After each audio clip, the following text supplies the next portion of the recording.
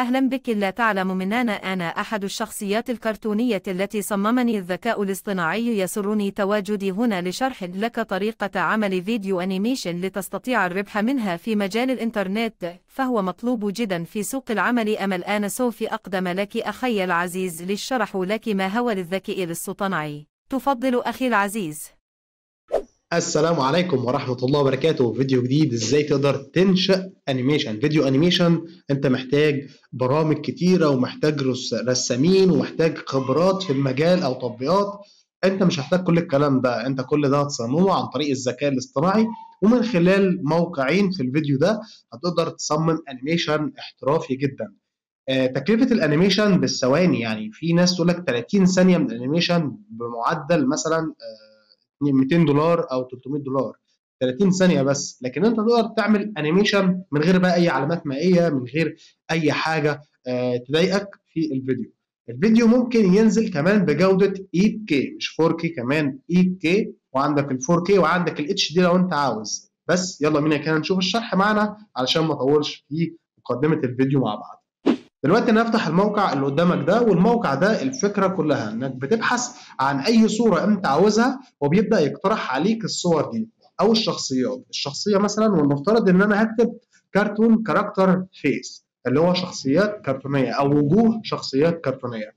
مجرد بس ما بضغط على كلمة search كده بلاقي شخصيات كتيرة هنا بتختار أي شخصية منهم أنت عاوزها بحيث إن هي تطلع في فيديو animation تتكلم وتتحرك أو تقول المحتوى اللي أنت عاوز تكتبه أو السكريبت اللي أنت عاوز تكتبه. مثلا أنا هختار الصورة دي زي ما أنت شايف كده بضغط عليها ضغطة كده وبشوف أي اختيار أنا عاوزه ولنفترض مثلا إن أنا هختار الاختيار اللي قدامك ده وبضغط على كلمة سيف أو حفظ للصورة هنا. فبتبدا الصورة معايا تتحفظ على جهاز الكمبيوتر. طب من هنا المفروض عليا إن أنا أعمل إيه؟ ببدأ أشيل الخلفية اللي ورايا. اهم حاجة في الصورة إن أنا لازم أشيل الخلفية اللي ورايا بضغط على الصورة كده بروح على موقع اسمه كانفا وببدأ أرفع الصورة من هنا وبقول له تعديل على الصورة ومن هنا بقول له هنا حاجة اسمها مزيل الخلفيات.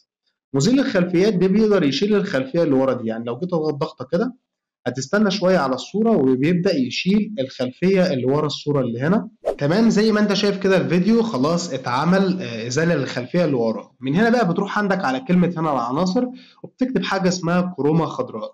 وبتدور على أي chroma خضراء بتضيفها ورا الصورة. تعالوا بينا كده نشوف مع بعض ونفترض إن أنا هختار ال chroma دي وأبدأ أكبرها كده بالشكل ده كده وأقول له تمام. ومن هنا بنزل بقى الصورة. كده أنا خلصت أنا عايز أنزل الصورة بتاعتي. بضغط على كلمة تنزيل هنا. وبقول له عندي جميع الصفحات المهم بس تتأكد إن هي بصيغة PNG. أهم حاجة تتأكد إن هي بصيغة PNG. وتروح عندك على جميع الصفحات بتحدد الصفحة رقم 18 اللي هنا وبتقول له هنا تم وتستنى شوية لحد ما كلمة تنزيل دي تظهر معاك. طيب بعد ما تظهر معاك كلمة تنزيل الصورة هتنزل معاك على الجهاز. زي ما أنت شايف كده هي نزلت كده معانا خلاص على الجهاز أهي. تمام؟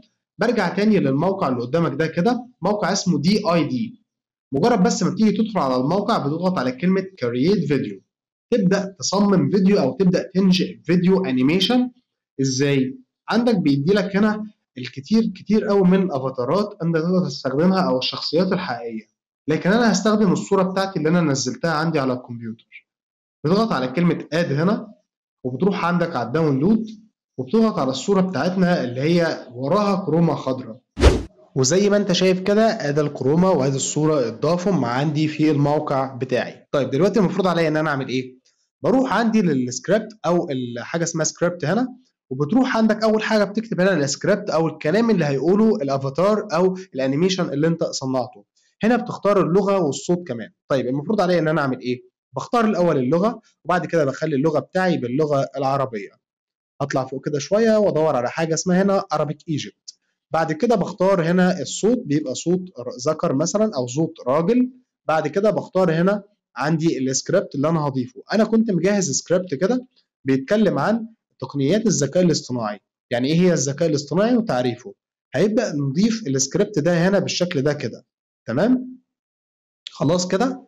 بضغط على كلمة create video انت بقى شوف انت حابب تضيف اي سكريبت لو انت مثلا معاك اي حاجة أو اي كلام انت عاوز تقوله باللغة العامية أو باللغة العربية الفصحى أو محتوى حتى اجنبي تقدر تضيفه عندك في السكريبت ده.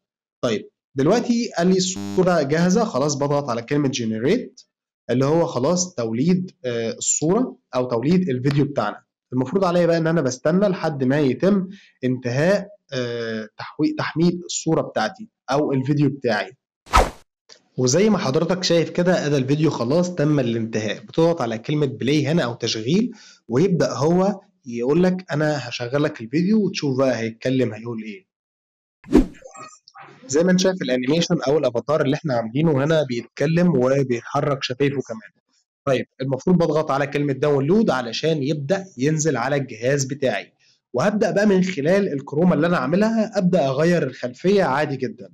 باجي ال Adobe Premiere. بروح أجيب الفيديو اللي أنا كنت عامله كده وبعدين بضيفه هنا بالشكل ده كده. أنا كده الفيديو. بروح عندي على كلمة effect وأكتب هنا key علشان ببدأ أشيل ال chroma اللي ورايا هنا. مجرد بس ما بروح ultra key بنزل تحت كده شوية وبشيل ال chroma دي. تمام؟ بعد كده هنا بخلي في مسافة بين الصوت وبين الفيديو بتاعي. وارجع تاني كده للصور اللي أنا منزلها. بعمل refresh كده. وأروح آخد أي صورة من الصور دي ببدأ أخليها بالشكل ده كده.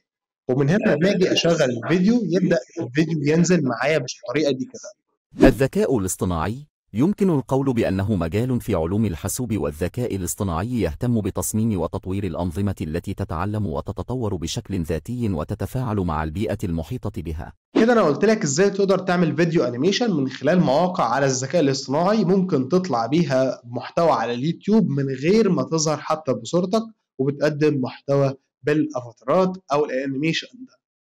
يا ريت لو عجب الفيديو ما تنساش تعمل like و subscribe للقناة وتفعل زر الجرس ولو احتجت أي حاجة تقدر تتواصل معايا في الفيديو أو تتواصل معايا في ال comment هرد عليك إن شاء الله. وأشوفكم في حلقة جديدة ومع السلامة.